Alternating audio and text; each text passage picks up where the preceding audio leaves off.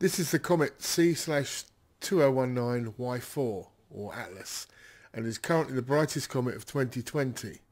It's currently in the constellation of Camelopardalis and you can see it with binoculars or a telescope. We think that it may continue to brighten and it's possible that the comet may be visible to the naked eye sometime in May this year. It will reach its nearest point to Earth on May 23rd and come to perihelion, which means closest to the Sun, on the 31st of May.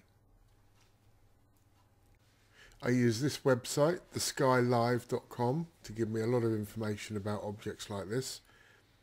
And if we look down here, you can find the right ascension, declination, which is how we find it uh, with our telescope. And if we keep scrolling down, lots and lots of useful information here. Now this distance was 160 million kilometers yesterday. It's now down to 156 million kilometers, so it's getting closer. Uh, it takes eight minutes for the light to get to us. Now the interesting thing is, if we look at this chart just here,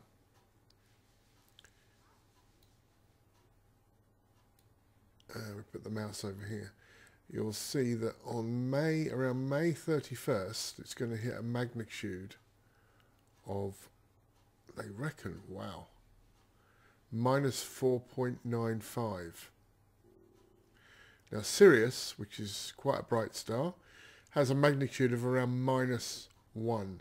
So this is going to get, the predicted brightness of this is going to be really bright. So the chances are that around May 31st this year, we're going to see this um, very, very bright, even maybe possible in the daytime as well. Here is the the orbit, just here, showing you the orbit. You can see it's coming in here. It's going to get very, very close to the sun.